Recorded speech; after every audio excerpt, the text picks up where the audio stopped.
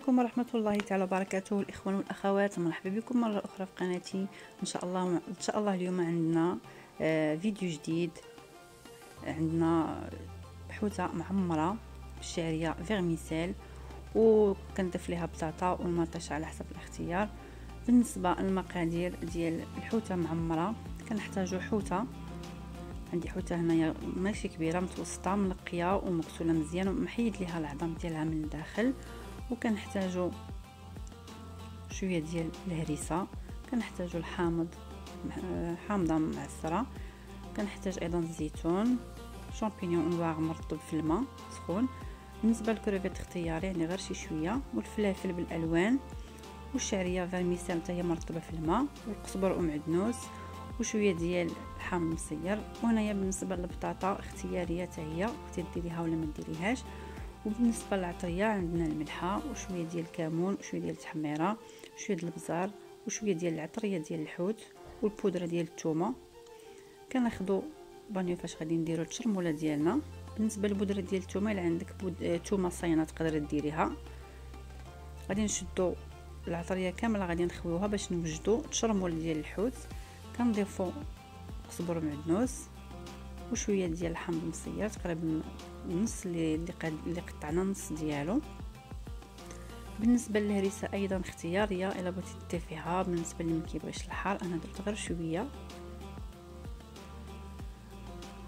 كندير الزيت العادية. كندير غير شوية غير باش نجمعوا هذيك الحشوة ديالنا باش ما تجيناش ناشفة بزاف. وغادي نعصر الحامضة. بالنسبة للحامض ضروري في الحوت كيعطيه واحد البنة زوينة. إلا ما كانش متوفر تقدري ديري معلقة ديال الخل. هي الحشوة وجدت لينا بها باش غادي نشرمل الحوتة ديالي. كما كتلاحظوا راه حيت ليها السلسول ديالها باش تجيني سهلة في التعمار.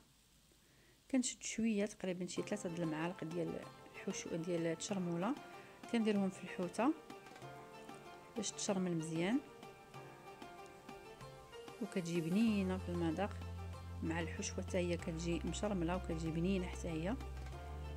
صافي كنشرملها بحال هكا وكنخليها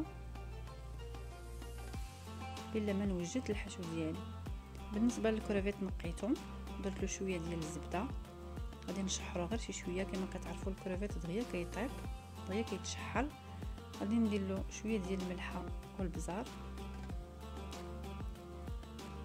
وغادي نشحرو الكرافيت ديالنا غير شي شوية بين ما يشد اللون ديالو غادي نحيدوه بالنسبة للكرافيت واخا كيكون قليل كيطلق النكهة ديالو. وأنا درتو الأول شحرته هو الأول باش يخلي ليا البنة ديال الكرافيت في المقلة. اللي فيها غادي نشحر الفلافل اللي عندي باش ياخذوا النكهة ديال الكرافيت كناخذ واحد البانيو كنخليه حدايا. فيه كنخوي أي حاجة شحرتها كنخوي في هذاك البانيو. كناخذوا الفلافل بالألوان. إلا ما كانوش متوفرين تقدري تستغني عليهم ديري غير الخضر اللي كيكون ديما في الأسواق.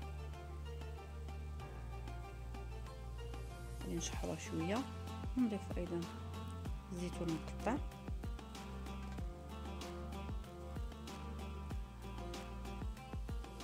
نضيفوا الكمية ديال الحامض اللي كتبقي عندنا الحامض مصير حتى هو كيجي زوين مع الحوت كيعطيه البنة ديال الحموضة.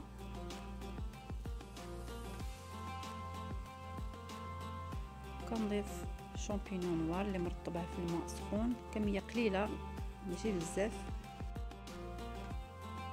وديما كنبقاو كنحركو باش دغيا تشحر لينا المقله ديالنا.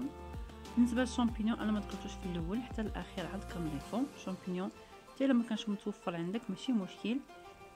بالنسبة للحشوه اللي كان متوفر تقدري تعمري به تقدري ديري غير شعرية بوحديتها مع الزيتون والفلفل الأخضر حتى هي كتجي زوينة. كندير معلقة ديال الزبده وكنضيف جوج معالق ديال الشرموله ديال الحوت اللي قديت في الأول. باش كتعطيها واحد البنة زوينة لهذيك الشرموله ودوك الفلافل حتى هما كيدخل ليهم العطرية كيجيو مشرملين. ديما كنبقاو كنحركو باش دغيا يتشحر لينا الحشو ديالنا.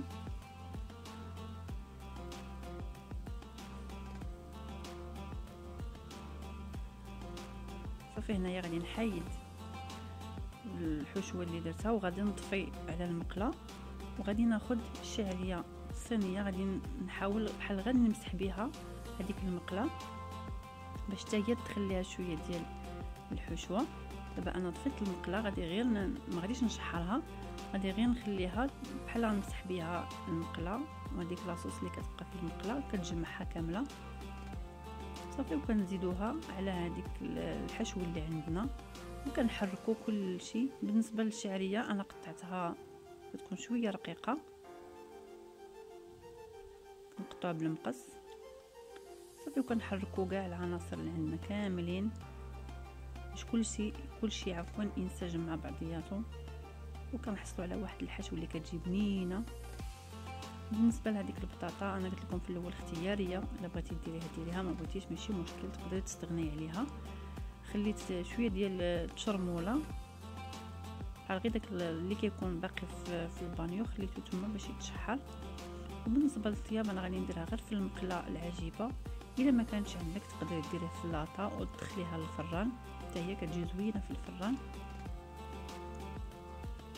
أنا غادي نفرش البطاطا. تقدري تفرشي بطاطا والبصلة والفلافل بالألوان مقطعين دواور والمطيشة كذلك.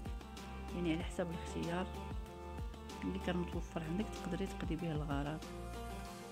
هي الحوته ديالنا من بعد ما تشربات مزيانة التشرموله ديالها. أنا غادي نعمرها بالحشوة.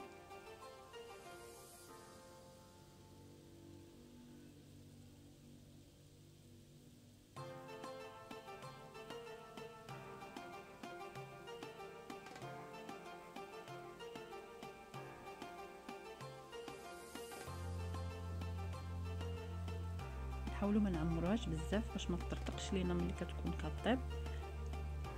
ولا صات لنا شي حشوة نقدروا نقدموها باردة في طبيصلات. راها طايبه كلشي فيها طايب تقدميها بحال هكا بحال شي شلاضه ولا في الطبيصلات كترافقيها مع الحوت. كتجي حتى هي زوينة. بالنسبة لاصوص اللي غادي نسقي بها الحوتة ديالي إلا كان عندك سوليس اولا آه، مطشه الحك. يعني غير مطشه الحك. كنديرها في هذيك الطبسيل اللي كانت فيه تشرمولة باش حتى حاجة ما تضيع كندير الزعتر مع مطيشه الحك تقريبا شي جوج معالق.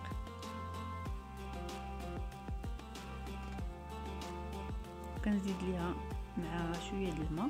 حتى كتولي لينا بحال صوص تكون شوية جارية. هي فاش غادي نطيبو هاد الحوتة ما غاديش نضيف ليها كاع الماء حيت البطاطا غادي تطلق الماء ديالها وأيضا الحوتة هي غادي تطلق لاصوص والمطيشه حتى هي غادي تطلق المريقة ديالها. ولا كنتي غادي ديريها في الفران ديريها في لاطا وغادي تسديها بابي ألومنيوم. حتى كتحسي بها راها طابت ساعات كتحيديه باش تجمر لك اللاطا ديالك وتجيك لاصوص معلكه وكتجي زوينة كتجي واقفة.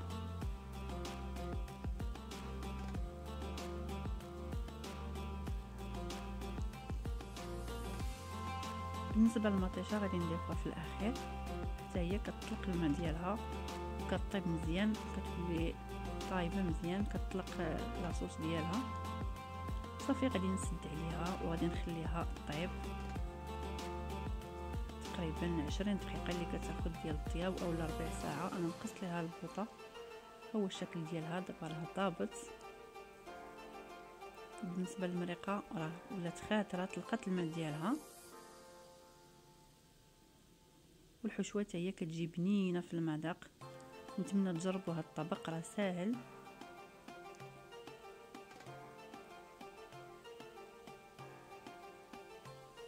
هو الإخوان والأخوات الشكل النهائي ديال الطبق ديال اليوم حوتة معمرة بشعريه vermicelle والفلافل. كتجي بنينة ترافقيها بأي حاجة بغيتي. آه، بالنسبة لديك الشعريه اللي بقات رافقتها في الأخير. شكرا لكم إخواني إخواتي على المتابعة وإلى فيديو لاحق إن شاء الله. ما تنساو ليش j'aime و commentaire على هذا الفيديو هذا. وشكرا لكم على المتابعة وإلى فيديو لاحق إن شاء الله. بحول الله والسلام عليكم.